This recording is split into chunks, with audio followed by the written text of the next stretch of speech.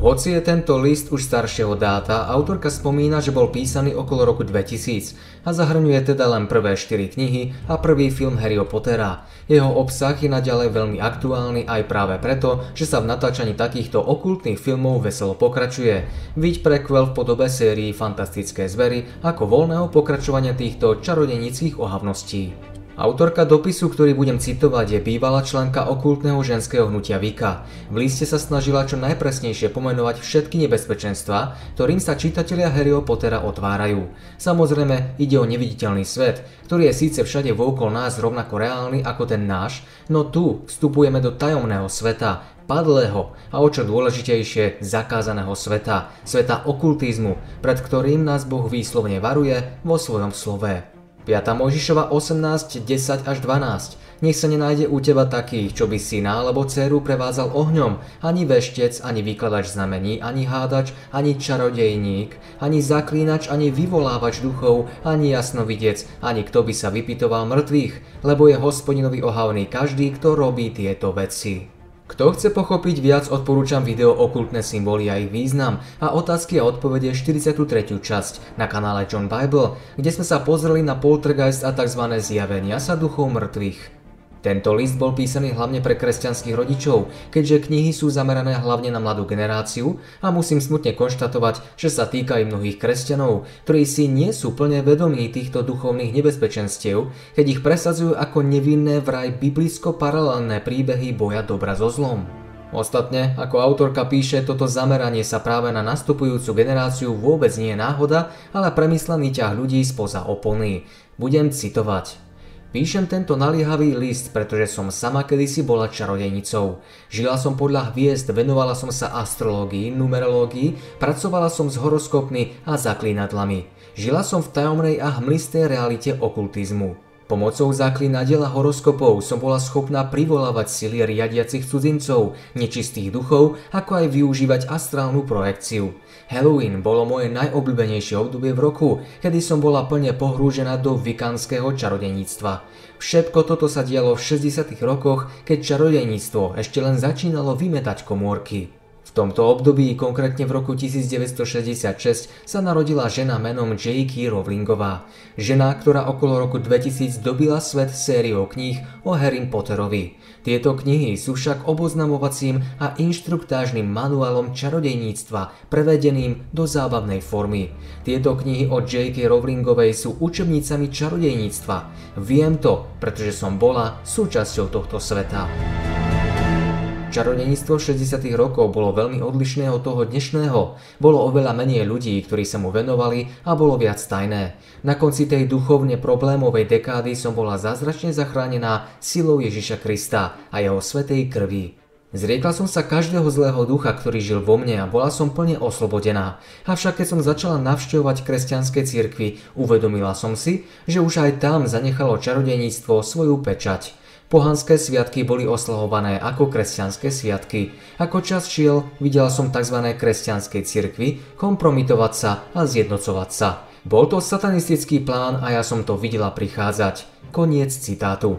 Je rok 2023, ubehlo 23 rokov a dnes vidíme viac ako predtým smrtonostný jed New Age, okultných prejavov v rôznych charizmatických cirkvách, ktoré sa pokladajú za božie, padanie a válanie sa na zemi, neludské zvuky, hadie syčanie či boží smiech, alebo skôr výsmech Bohu, ktorý zaznieva nielen z radou kresťanov, ale znie hlavne skazateľný z týchto okultných vlkov v ovčom rúchu. Viac sa dozviete vo videu New Age v cirkvi, diabolský útok na kresťanstvo a k okultným sviatkom zasa vo videu Halloween, démonická slávnosť versus kresťan. Poďme ďalej. Iluminátsky spiklenci pochodovali vpred smerom k jednotnému svetovému náboženstvu s jasne zapustenými elementami okultizmu v ňom, predkanými v jeho doktríne. Na to, aby boli úspešní v zasvedcovaní sveta do čarodejníctva a tým definitívne kontrolovali svet, celá generácia bude musieť myslieť ako čarodejníci, hovoriť ako čarodejníci, obliekať sa ako čarodejníci a aj tak jednať. Okultné piesne 60. rokov naštartovali luciferiánsky projekt dobývania myslí celej generácie. Piesni Sound of Silence od Paula Simona a Arta Garfunkela nám bolo povedané, že, citujem, semená boli zapustené, keď celá generácia spala a vízie, ktoré boli zasiaté v mojej mysli, stále pretrvávajú. A dnes máme všetky organizácie na šírenie okultizmu a čarodeníctva na svojom mieste a v plnom nasadení. Ilumináti musia jednať rýchlo, pretože čas beží. Bol to komunistický revolucionár Lenin, kto povedal, dajte mi jednu mladú generáciu a ja zmením svet. Teraz celá jedna mladá generácia bola daná do rúk ženy menom J.K. Rowlingová a jej knihám o čarodeníctve známych ako Harry Potter. Ako bývalá čarodenica môžem prehlásiť, že som Rowlingové diela skúmala a že knihy o Harry Potterovi sú tréningové manuály na vykonávanie okultizmu. Milióny mladých ľudí sú vedení k tomu, aby mysleli, rozprávali, obliekali sa a jednali ako čarodeníci tým, že ich srdcia sú naplnené obsahom týchto kníh. Deti sú tak posadnuté knihami o Harry Potterom, že radšej nechajú televíziu a videohry a idú si čítať tieto manuály čarodeníctva. Prvá kniha zo série s názvom Harry Potter a kameň mudrcov predstavuje Harryho Pottera, sirotu, ktorej je predstavený úplne nový svet, keď je Harry vzatý do Hogwartskej školy veštenia a čarodeníctva. Harry Potter sa v tejto okultnej škole učí, ako získať a využívať čarodejné nadanie. Harry sa takisto učí aj nové slovíčka, ako sú Azkaban, Cirke, Dragon, Hermes a Slytherin. Všetko toto sú mená skutočných padlých anielov, démonov. Toto nie sú vymyslené postavy. Milióny mladých ľudí sa čítaním týchto materiálov učia, ako pracovať s demonickými duchmi. Spoznávajú ich po mene. Obrovské množstvo kresťanských detí rovnako naplňa svoje srdcia a mysle týmto odpadom, kým ich rodičia o týchto veciach častokrát nič netušia. Názvy kníh by mali byť pre nás dostatočným varovaním, aby sme si uvedomili, aké satanské a antikresťanské tieto knihy sú. Druhá kniha v poradí má názov Harry Potter a tajomná komnata, kým tretia Harry Potter a väzen z Aska. Azkabanu. Už len z týchto názvov je na slnko jasnejšie, že knihy o Harry Potterovi sú čisté čarodeníctvo, ako skutočná čarodenica učila som sa o dvoch stranách tzv. sily, keď skutoční čarodejníci majú svoje sabaty, akési stretnutia schôdzky čarodejníkov, kedy sa robia rôzne magické úkony. Zvyčajne sa tak deje pri splne mesiaca. Zdravia sa heslom buď požehnaný a odpoveď na pozdrav je sila s tebou. Obe strany sily predstavuje ale Satan. Koniec citátu. Rovnako to vidíme aj v šachonicovej podlahe iluminátov, kde biela a čierna je jedno a to isté. Sú to dve strany jednej a tej isté mince. Čierni sú satanisti a bieli sú luciferiáni. I séria Star Wars či iné tomu podobné seriály sú postavené na kozmicko vnútornej energii, sile a rovnako vládne pozdrav, nech ťa sila sprevádza. Neexistuje žiadna dobrá strana sily, ktorá by porazila tú zlú, len krv Ježiša Krista môže zničiť obe strany tej satanskej sily. Poďme ďalej. Čarodejníci na tých najvyšších stupňoch hierarchie veria, že je sedem satanských princov a ten siedmy, ktorý je pridelený kresťanom, nemá meno. Počas sabatistických stretnutí sa mu hovorí jednoducho ten bez mena. V Harry Potterovi je postava, ktorá sa volá Voldemort. Všetci ho ale volajú ten, ktorý nesmie byť menovaný. Tu doplním zaujímavosť, že o tzv. siedmých princoch pekla hovorí aj stredoveká kresťanská démonológia, či Dantovo veľdielo Inferno. Podľa démonológie jedným z týchto princov má byť aj pohanský keltský boh Bál. Tomu sa robívali ľudské obete. Podľa tejto stredovekej náuky démonských bytostí je veľmi veľa a princovia sú takmer na samom vrchole satanskej hierarchie. Poďme ďalej. 8. júla o polnoci boli snad všetky knihkupectvá zavalené miliónmi detí, ktoré sa snažili získať ďalší, v poradí štvrtý diel s názvom Harry Potter a ohnivá čaša. Tieto knihy si deti pobrali domov netušiac, že každú jednu kópiu následuje do ich domovov skutočný démonický zlý duch. 8. júl bol takisto 18. deň 6 plus 6 plus 6 od jedného z pevne daných čarodejných sabatov. 8. júl bol rovnako 13. deň od podpísania charty spojených náboženstiev v San Francisku. A tu taktiež doplním, že rovnako to je pri hudobných festivaloch a koncertoch popových iluminackých bábok, ktoré počas priamého prenosu gestami preklínajú prítomnú mládež, alebo vyjadrenia známych metalových či rokových slávnych kapiel s okultným nádychom, ktoré krstia ich albumy za prítomnosti satanistického kňaza či šamana. Ten zasvetí novo vydané CD určitému démonovi, ktorého si kupujúci nadšenci vodia priamo domov. Späť ku knihám Rowlingovej. Do budúcnosti sa počíta s ich zavedením do školských osnov. Čo hovorí Boh o knihách, ako sú tie o Harry Potterovi? Skutky 19, 18 až 20. Mnoho veriacich prichádzalo, vyznávali sa a priznávali svoje skutky a mnohí z tých, čo sa zaoberali čarami, podonášali knihy a pred očami všetkých ich spálili. Keď spočítali ich cenu, vyšlo im 50 tisíc strieborných. Tak mohutne sa šírilo a silnilo pánovo slovo. A čo o Harry Potterovi hovoria tí najmenší? Tu sú niektoré vyjadrenia detí. Chcem ísť do čarodeníckej školy učiť sa mágiu. Bolo by skvelé byť čarodeníkom, pretože by ste mohli kontrolovať situácie a veci ako učitelia. Knihy sú veľmi dobre napísané, nemôžem ich odložiť. Keď som sa bál, uvedomil som si, že sú to len vymyslené veci a potom som sa už tak nebal. Mne sa najviac páčilo, keď tí zlí ľudia zabili jednorožca a Voldemort potom pil jeho krv. Toto sú komentáre mladých čítateľov Harryho Pottera. Deťom sú v Harry Potterovi predstavované veci ako ľudské obety, pitie krvi mŕtvych zvierat či posadnutie duchovnými bytostiami. Súdy zakazujú vo verejných školách kresťanské predmety. Hm, ale Vika, ktorá je u súdov považovaná za náboženstvo, má ruky voľné. Harry Potter sa stal metódou, ako zasvetiť tých najmenších do tajov okultného učenia Vika. Spoločnosť Scholastic, hlavný dodávateľ pomôcok do amerického školstva, pridal knihu Harry Potterovi do svojej ponuky. Keď si zadáte heslo Harry Potter na webe scholastic.com, naskočí vám 268 výsledkov. Pre heslo Ježiš naskočí len 23. Poďme späť k listu. Po tom, čo sú čitatelia vovedení do sveta okultizmu skrze knihy Harryho Pottera, si môžu svoje schopnosti a vedomosti v čarodejníctve a pohanstve vylepšovať na stovkách webových stránok s touto tématikou, alebo si môžu kúpiť knihy. Mnohé knihkupectvá majú špeciálnu sekciu venovanú len literatúre Vika. Fenomén Harryho Pottera sa prehnal svetom detskej fantasy literatúry ako búrka. Okolo 200 miliónov kópií bolo už predaných vo viac ako 40 jazykoch sveta. Jedna štúdia ukazuje, že viac ako polovica detí v západnom svete už čítala aspoň jednu z Potterových kníh. Mnohí prečítali jednotlivé príbehy už viac ako raz. Je to ale len vymyslená rozprávka ako napríklad Karkulka či Snehulienka? V jednom videu expertka na kulty Karil Mastricianova poukazuje na to, že v starších príbehoch zlo nikdy neporazilo dobro. Toto ale neplatí o Harryho svete. Tam to záleží podľa situácie. Čarodeníctvo má teraz silné pozlátko. Deti sa s Harry Potterom častokrát zoznamujú už v materských školách. To ich neskôr vedie k hororovým filmom a stovkám vikanským internetovým stránkam. Ako žíznia poviac moci máme v Amerike už prvé vikanské študijné odbory na univerzitách. Pre svet dospelých rôzne spoločnosti ponúkajú výučbu okultného hnutia New Age. Bývalý satanista William Schonbelain píše vo svojej knihe Vika Satan's Little White Lie Vika, Satanova malá biela lož, toto. Nakoniec som pochopil, že rozdiely medzi čarodeníctvom Vika a satanizmom v skutočnosti neexistujú. Koniec citátu. Predtým, než bol zachránený, William sa párkrát našiel, ako kráča po ulici a hľada nejakú mladú ženu, na ktorú by zautočil. Nechcel ju zneužiť, chcel piť jej krv. To, čo vám teda už nepovedia, je hlad pomoci. Harry Potter a zvyšok čarodeníkov sľubujú práve takúto moc. Ale na konci objavíte, že je to Satan, kto si vyžaduje poplatok za moc a že celé to funguje asi ako sír na pasci na myši. Konec citovaného listu.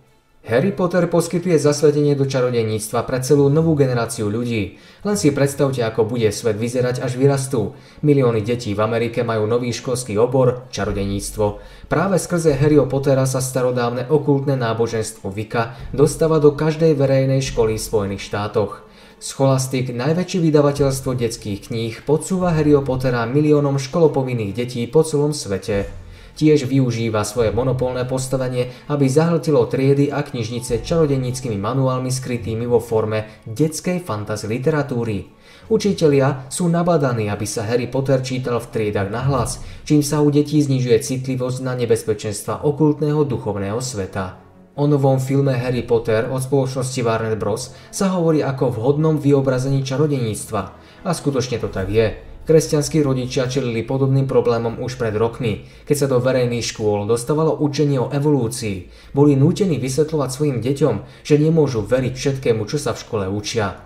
Teraz, keď sa Harry Potter stáva súčasťou učebných osnov, rodičia musia mať o ňom dostatok informácií, aby deťom vysvetlili, že čary, mágia a ďalšie podobné aktivity z Harryho Pottera patria do zakázanej oblasti okultizmu. Vo februári 2004 časopis Forbes odhadol Rowlingovej majetok na 576 miliónov libier, čo ju radí medzi dolárových miliardárov ako vôbec prvého spisovateľa. Autorka kníh sa pri jednom rozhovore s reportérom do londýnskeho časopisu vyjadrila následovne. Tieto knihy pomáhajú deťom pochopiť, že slabý a hlúpy Boží syn je živým vtipkovaním, ktoré bude skompromitované, keď príde ohnivý dážď. A i tak fanúšikovia a o čo zaražajúcejšie niektorí kresťania úplne nekriticky opisujú sériu ako neškodnú detskú rozprávku boja dobra so zlom. Sami exorcisti však varujú pred týmito knihami a filmami a hovoria, že všetky tieto mediálne prostriedky o Harry Potterovi obsahujú aj záklinadla a kliatby, ktoré sa reálne používajú v okultizme. A ak by sa to niekomu ešte zdalo málo, k členstvu v čarodenickom sabate sa verejne priznala aj Emma Watson, známa ako predstaviteľka Hermiony vo filmovej sérii. Zhrňme si to. Knihy o Harry Potterovi sú o mladom čarodejovi, ktorý navštevuje prestížnu tisíc rokov starú okultnú školu. Všetci jeho učitelia sú praktizujúci okultisti, ktorí zasvedcujú svojich študentov do temných umení čarodejníctva a veštenia, predpovedajú budúcnosť, vyrábajú elixíry, učia sa zaklinadlám a kliatbám. Svet Harryho Pottera hovorí, že pitie krvi zabitých zvierat dodáva silu, že ľudské obete satanovi a Harryho krv dávajú nový život, že posadnutie démonom nie je duchovne nebezpečné a že prechod cez oheň, kontaktovanie mŕtvych a vypytovanie sa duchov a tak ďalej je normálne a prípustné. Nie lepšieho spôsobu ako naučiť široké masy a najmä deti, že mágia je dobrá. A čo na to duchovenstvo? Napríklad katolický kňaz Pavol Hucík, ktorý vystríha pred knihami Rowlingovej, vo svojom tínedžerskom veku praktizoval tzv. bielu mágiu, čiže nepoužíval ju na škodenie druhým. Ako však zdôrazňuje, každá mágia je zlá, lebo človek sa v nej usiluje o niečo, čo mu Boh bežne neumožňuje. V rámci svojich možností mu to však rád umožní Satan, aby na človeka získal vplyv a preto sa každý magický úkon koná s viac alebo menej priamou pomocou diabla. Práve v tom je prvé veľké klamstvo Harryho Pottera. Presvieča, že biela mágia je dobrá a môže človeku pomôcť. Tvrdí, že Harry Potter je učebnicou mágie, citujem, dieťa sa tam dozvie prakticky všetko. Je to reálna mágia, prezentuje sa tam približne 15 okultných praktík a desiatky princípov, ktoré reálne fungujú vo svete mágie, aspoň 60 skutočných zaklínaní, skutočné mená démonov a čarodejníkov, ozajstné satanistické pozdravy používané na sabatoch a tak ďalej. Koniec citátu. Hucík toto konštatuje s tým, že sám ako znalec bielej aj čiernej mágie by to lepšie nenapísal. To je aj jeho odpoveď na otázku, či si Rowlingová len nenaštudovala potrebné informácie o mágii, aby napísala zaujímavú knižku, ako to bežne robia autory, keď chcú písať napríklad o stredoveku. Takže Rowlingová musela všetko poznať až príliš dobre. Najviac sa však hranica medzi dobrom a zlom stiera práve tým, že Harry je siedmým Horcruxom Voldemorta, Voldemort je v knihe paralelou Satana s telesnením zla. Svoju dušu vtelil do siedmých Horcruxov, čo je skrátka zo spojenia Horribilis Crux, hrôzostrašný kríž. Mať v sebe dušu iného je definícia posadnutosti, takže Harry Potter je posadnutý Voldemortom. To znamená, že hlavná dobrá postava knihy je zároveň súčasťou hlavného záporáka. Voldemortovo meno sa akože nemôže vyslovovať a volajú ho ten, koho netreba menovať, alebo veď viete kto, čo je podobné ako meno Jahveho v starom zákone, ktoré netreba menovať. Had, s ktorým sa Harry rozpráva v zoo, pripomína hada v raji, s ktorým sa rozprávala Eva. Harry má na čele blesk, ktorý je bežným symbolom satanistov. Pripomína Ježišovu vetu, že videl satana padať z neba ako blesk. Gabriel Amort, vatikánsky exorcista, povedal Začnite čítaním Harryho Pottera, ktorý vystupuje ako sympatický čarodejník a skončíte u diabla. Nepochybujem, že v týchto knihách je Satan zjavne podpísaný. Koniec citátu. Väčšina detí a dospelých sú totižto takýmito filmami, knihami, vecami programovaní. A nehovorí sa tomu programovanie len tak zo srandy. Je to masová kontrola mysle a manipulácia s podvedomím už dávno praktikovaná na hollywoodských a popových hviezdach, čo sa týka projektu MK Ultra. Písmo hovorí jasne. Efežanom 5.11. Nemajte účasť na neplodných skutkoch tmy, radšej ich odhalujte. Položte si otázku. Kto trávi s vašimi deťmi viac času? Vy alebo váš televízor? Akým hodnotám ich tá bedňa učí? A teraz otázka na vás, kresťanskí fanúšikovia Harryho Pottera. Stal som sa vašim nepriateľom, keď vám hovorím pravdu?